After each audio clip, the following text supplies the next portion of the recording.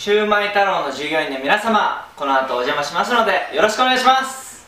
以上吉田山田でした。違う。違う。違う。違う。この後の打ち上げの話じゃない。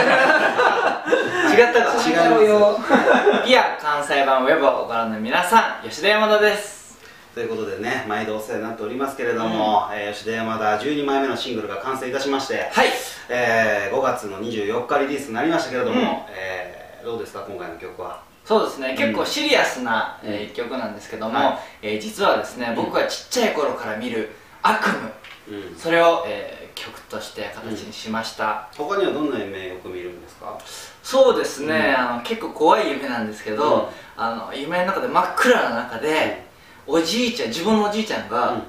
8人ぐらいいて首を絞められるっていうすごい怖いんだ。よ怖い。結か構悪夢もう言わないで言わないでもらってそうですね。か心に問題あるんわですか？かんないですよ。怖い夢ばっかり見るんですいつも。今回は、うん。そのいつも同じ、まあ、都会ですよね、うん。え街の中で、えー空から大きな物体、まあうん。山田はその時怪獣だったわけですけども、えーそういう夢をはい。曲にしたいなと思って、うん。えー曲にして、うん。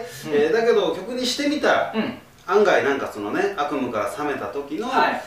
ああ俺これを大事に思ってるんだなとかだね。あの改めて気づくっていうところで、うん。希望の歌にねね。ちゃんとなったなと、えー思ってますので、うん。それぞれ、まあ、新社会人だったり、えーちょっと今自分が住んでる環境がねあのちょっと慣れなかったりする方のなんか共感してもらえたらそうですね。嬉しいかな、それぞれ感じること全然違っていいと思うんですけども、なんか気づいたらちょっと背中を押されてたなとはい。思ってもらえたら嬉しいなと、うん。えー思う楽曲になっております、えー生で皆さんにもライブで見ていただきたいんですけれども、はい。今年夏やっぱりたくさんライブねそうなんですよ。やりますけれどもあるんですよ。覚えてますか？じゃじゃん。はい。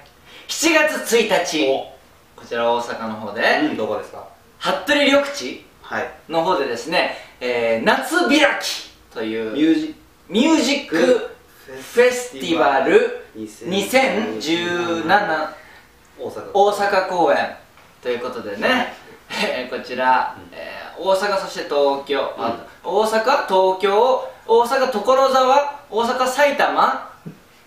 まあいろんなところで、そうそうそう、えーやりますけども。やるやつですえー大阪でもやれるということなので、まず7月1日、えーぜひとも遊びに来ていただきたいです、はい。それから今年も、え3年目になりました吉田山田祭り2017が、えー8月の26日、うん。えー今年は上野の野音で開催されますので、えー吉田山田のこの夏の締めくくりにねそうですね。1年で一番こう楽しみにしているうん。イベントといっても過言ではありませんので,、そうですね。えー全国各地から集まっていただければと思いますのでよろしくお願いいたします。今年は関西、うん。えーどんな年というかね、はいはいはい。えーどんなふうにこう関西でこう過ごしていきたいですか？そうですね、うん。あの関西ってまあ食の街って言われるじゃないですか。そうなんですか？関西といえばねあそうなんです食い倒れとかはいろいろありますから、はでも僕ら関西に来て、うん。あの馴染みの店っていうのがまだ全然できてないあんですよ。確かにね。